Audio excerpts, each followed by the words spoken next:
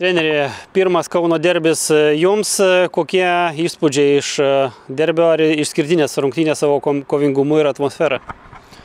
Nu, turi kažkokį tai, kaip be būtų, intrigą šitos rungtynės ir, ir matėm, ir kovingumą matėm, ir futbolo matėm. Tad tikrai turi kažkokį tai savo sakant, to prieskonio prie, visos, prie visų komandų ir aš sakyčiau, tikrai įdomu buvo ir žaisti, ir matyti, kaip komandos atsineša. Tad tikrai tas tik prideda, sakant, įdomumo būtent mūsų lygai na rungtynės buvo labai nelengvos pagal tą scenarijų kaip klostėsi praleidot e, varžovų įvartį ten fantastiškas varžovų išpildymas čia jau ko gero priekaištų vargu ar kam nors galima turėti e, bet sugebėjot e, perlaužti rungtynių eigą antrajam kėlinyje atlikote keitimų ir išlyginot rezultatą tai vis dėlto vėliau ir ta kortelė šiek tiek pakeitė rungtynių eigą. Kaip jaučiatės, ar iškovojot tašką, ar vis dėlto labiau praradot du? Mm, nežinau, iš tikrųjų, esam su vienu tašku ir, ir taškas tame. O kas liečia epizodus, tie, kurie buvo, sakau, galbūt uh, jiems Hegelnui komplimentai tikrai labai gražų įvartį mušė. Uh, galėjom kažką geriau padaryti galvoju, kad taip, nes visada galima kažką geriau padaryti. Jų išpildymas buvo fantastinis tame.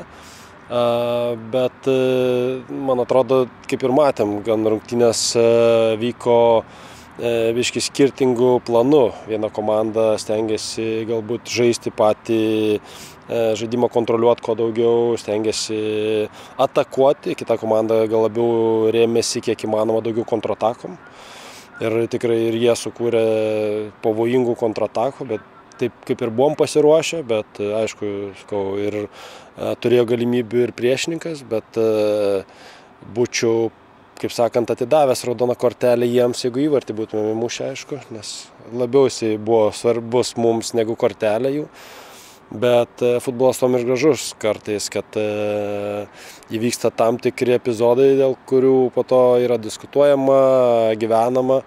E, tad norėjom tikrai laimėti šitas rungtynės ir, kaip ir matėt, iki pat galo žaidėme ir tikrai demonstravome tikrai neblogą futbolą.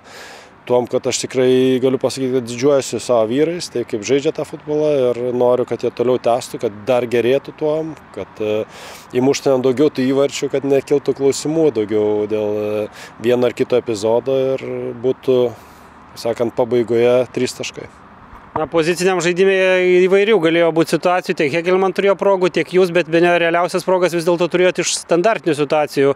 Gratas sirvydas porą baudos smūgių.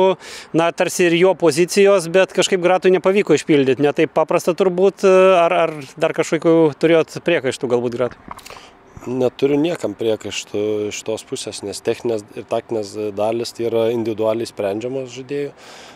Sakyčiau, galbūt ir vartininkas priešininkų tikrai apsaugojo vartus.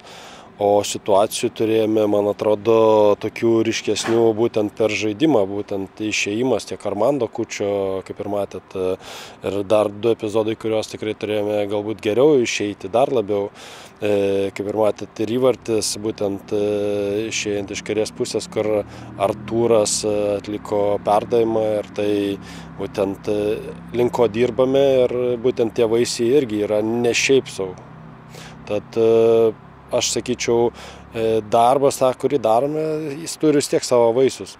Norėtųsi, kaip ir sakiau anksčiau, norisi, kad jis būtų dar pozityvesnis, kad įsivežtumėm tris taškus iš čia, bet, nu, komplimentai ir priešininkams taip pat.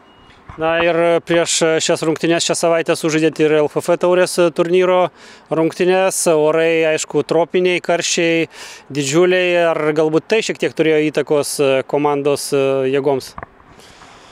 Galbūt, e, sakyčiau, yra daug tų pasteisinimų, kurie galėtų būti, bet e, o, mano komandai nereikia pasteisinimų, mums reikia atlikti darbą, dėl ko mes tai darome. Ir, e, sakau, aš džiaugiuosi tai, kaip atlieka jie ir žaidėjai pildo daug labai susitarimų, tad kuo mes daugiau dar labiau juos pildysime, tuo ir bus tas taškų bagažas didesnis.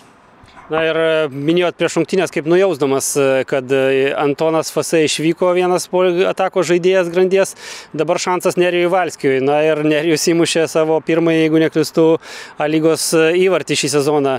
Tai ar matot gerėjančią nerijaus formą ar tiesiog tokia nuojauta ar šiaip galbūt norėjot motyvuot nerijų nu jisai visų pirma yra puolėjas o puolėjo duona yra įvarčiai. Tad aš tikiu savo puolėjais ir aš tikiu e, kaip bebūtų gaila šiandien, kad Armandas neįmušė, bet aš tikiu, kad šitas polės yra mūsų ateitis ir jisai tikrai dar nustebins smarkiai mūsų Lietuvos aistruolius ir aišku, mūsų klubo visų pirma, bet ir pamatysite, jisai iš jo tikrai išauks e, e, tikras polės. Tai po rungtinių taip draugiškai šnekučiavotės su varžovų treneriu Andriumi Skerla, buvo rinktinės buvę ilgamečiai gynėjai, rekordininkai daugeliu atžvilgių ir taip toliau. Ką, ką susitarėt, ar aptarinėjot rezultatus, ar dar susitikti papietauti?